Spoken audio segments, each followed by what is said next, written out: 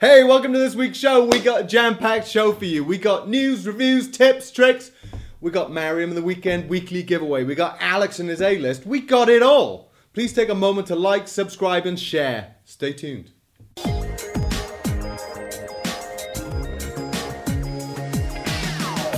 In the news this week, Apple got a little bit touchy this week over a seemingly innocent punctuation error. In a recently filed court document, smartphone rival HTC referred to Apple as Apple, Inc. In response, Apple just quietly asserted that their correct moniker is simply Apple Inc. No comma. No biggie, you say, nothing to report here.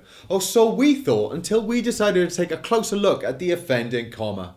And look what we found. Seriously, now that's just juvenile. So Adobe this week finally threw in the towel on Flash for mobile devices, announcing an end to development. You know, it was big news when Apple announced the iPhone that Flash was controversially not included. Steve Jobs even wrote an open letter in 2010 stating his reasons for the omission. Chiefly that Flash was an excessive drain on resources and would suck batteries dry faster than you can say, who's laughing now, bitches? Of course, Flash is still a hugely popular multimedia authoring platform, but it's been largely superseded on smartphones and tablets by open standards like HTML5. As a wise IT guy once said, old technologies never die. They just hog your processor cycles, crash your hard drives until you've had enough and just go buy an iPad. As Steve Jobs said in his letter, Flash was created in the PC era, and we all remember what that was like. Good news for all the Apple loving tree huggers out there. Greenpeace just released their guide to greener electronics, and Apple have moved up the rankings to fourth place from 11th just four years ago. Well done, Apple! Kudos! You've made some sacrifices, but they paid off. I must say, I'm glad you dropped your Hummer branded V12 iMac. It was a little excessive. I think the guys at Microsoft this week have got a little confused if their latest creation is anything to go by. In response to Apple's domination in the smartphone market, the bright sparks at Redmond have come up with this. This is a 55 foot Windows phone. This five story, not so mobile phone is taking up space in Times Square, New York. Seriously, Microsoft, is this the best strategy you've got? I guess this is their idea of the next big thing. Maybe they've actually given up trying to sell millions of smartphones like Apple do and instead are betting the company on one big phone.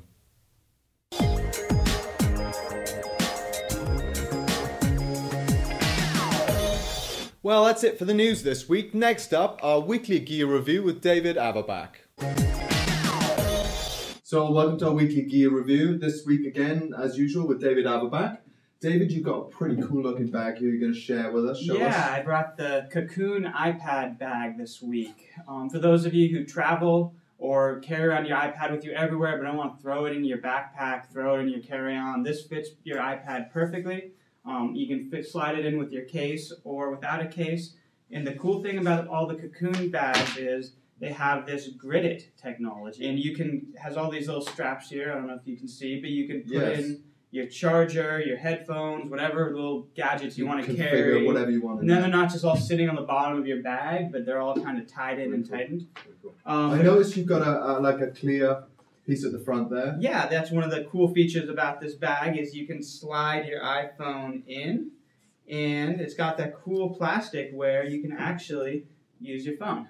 So you can actually, if you wanted to, you can take a call, hold it up to your head. You can try. A little bit weird, but you know, whatever. um, and It looks tough, it looks durable, and it's got just enough kind of space and features to. exactly, and it's manly enough where you're not going to look like you're carrying a purse. How much does that retail for? This retails for just about thirty dollars, which is That's pretty reasonable. reasonable, yeah. Pretty cool. Well, thanks for joining us. Thanks for show and tell. Yeah, thanks a lot for having me. See you next week. See you next week.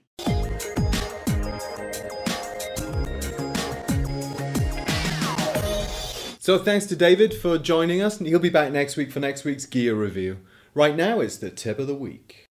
This week's tip is aimed at all you iPad users out there who also have a Mac portable like a MacBook or a MacBook Pro. As you know, if you want to charge your iPad, you need one of these. You put your USB cable in there, and this bit goes in the mains. Now, if you look at your Mac portable power cable, um, it comes with an extension which can be removed. Now, this can actually be used on your iPad charger. That's the tip of the week.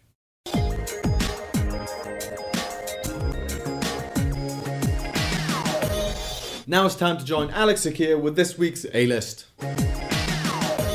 Hey guys, welcome to this week's A-List. My name is Alex Cequea, editor-in-chief of iPhone Life magazine. Let's get right to it, shall we?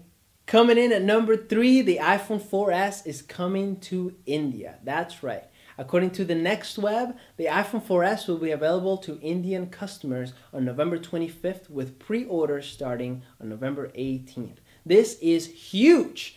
I mean, literally, India is huge. It's one in six people in the world. If you have six friends, one of them should be Indian. An interesting note about this story is that both of the carriers in India are not mentioning Siri as a feature for the next iPhone 4S.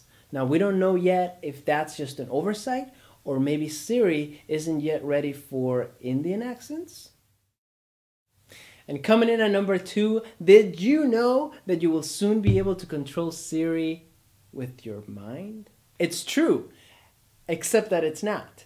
A group of guys known as Project Black Mirror have tried to create this barely convincing demonstration showing themselves controlling Siri with their thoughts. The demonstration had lots of problems in their setups, and critics quickly pointed that out. In fact, Trevor Coleman, who is the CEO of the company that specializes in thought controlled computers, said that this group was making impossible claims and that this technology is not going to be available to the public in at least 15 years.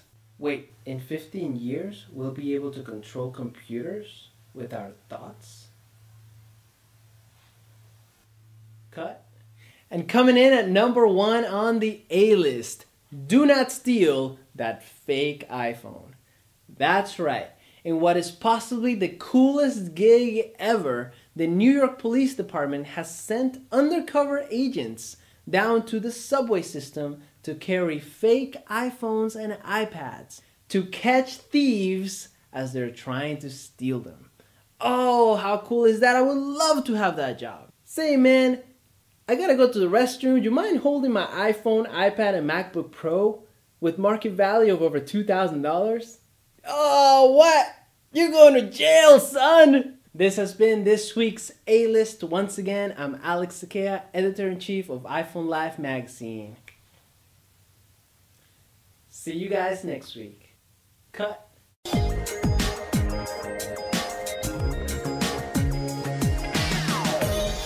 Awesome, Alex. Thanks for doing your A-list again. Always a joy. This week we're not going to do an app review. What we're going to do is take a look at a little Kickstarter special called the Oona. So I'm totally excited today to show you all the Oona. Now I've been waiting for weeks for this to arrive. This was a Kickstarter project that was tremendously successful, but it's just come off the press. It's just come off the production line. It's been about five, six weeks in the in the making. Let's take a look. So this is the Oona. It's basically a versatile smartphone stand. It's multi-configurable. Let's take a look, pull it out of the box so we can see what makes the Oona so special. So this is the basic stand. The Oona comes out of the box, but it's so much more than this. And with that comes this little bag. And in this bag, we have another three suction cups along with the one that goes on. And as you can see, the Oona basically, the multi-configurable part of it is that you can take this suction pad off, you can remove the base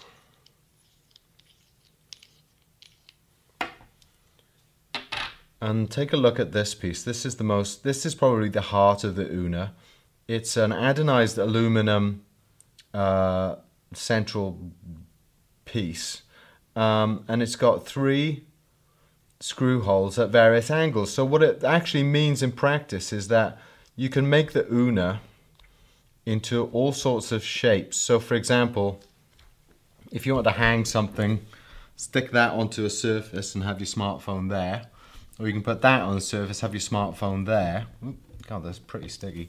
Um, you can put that on there. This is the one I use a lot is um, you can stick that on the windscreen of your car and put your iPhone 4 there and you can use like your GPS or just use it as a, a stand in the car. Um, there's so many different ways you can use the Oona. That's why that's why I thought it was such a cool um, a cool project. And they've done a really good job of it actually. I mean it feels really solid. So when you want to put a smartphone on, they say, and there's a little little thing there that says, if you can read it, lick it before you stick it. I found that you just gotta lick it a little bit. Not too much. And then you can basically stick your smartphone on there. And that's pretty solid. I mean, it's not going anywhere. Um, and you know, you can just, I, I just, just leave that on the table and it's there and you can, you could put it this way, let's do a different way. You know, you could even be watching your, hold on. You can watch a movie on that. And of course, this is the other configuration. Take the base off, put one of these on. Like that. And stick that onto uh, a car windscreen or refrigerator. I mean, what I would say is this, or there even. What I would say is this. Um, try it out at low altitude before you commit to anything very high. Just test out how tough those stickers are because honestly it took me a little while to just get the right amount of moisture to make that stick properly onto your smartphone and I'm not going to necessarily trust my uh, my iPhone to um, something unless I've tested it out. But that said, it's pretty solid. It's not going anywhere, and all the different angles you can do with it um, make it just a really, really useful uh, stand. I think it's a great little product. So that's the Oona. We love it. $25 at theoona.com. It's still on pre order, but I'm sure they'll be on the shelves soon.